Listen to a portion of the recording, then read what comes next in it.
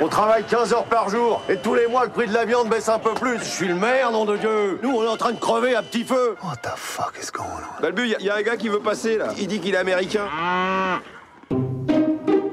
Il est si connu que ça, votre Newman Le photographe C'est une star. Bonjour Bonjour Je suis à vous dans deux secondes. Give the baby. À la vache.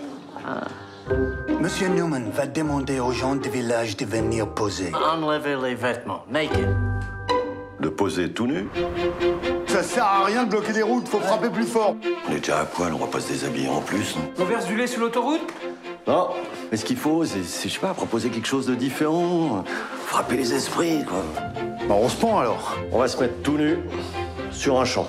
Tout le village, tout nu.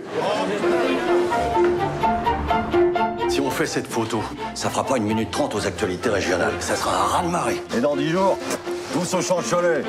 Les Américains ils mettront jamais le pied chez moi. Tu vas la montrer ta caquette? Écoute, Maurice, on est en guerre. J'ai pas envie, je te dis. Et j'ai rien à cacher, hein. Monsieur Balbuzard, on vous a pas élu pour déshabiller le village Et vous, Gisèle, vous allez venir poser avec nous, hein, belle comme vous êtes. On veut déshabiller nos femmes maintenant. Vous en êtes où avec les modèles? Ah, il y a encore des petites résistances.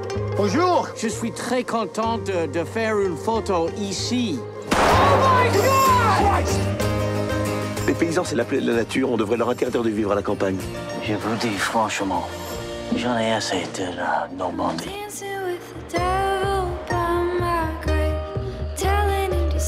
Bah, c'est bien fait pour votre gueule. Vous aviez qu'à m'écouter. I feel my heart. Vous l'avez laissé tomber, Balbuzard, voilà. C'est pas rendu compte, c'est tout.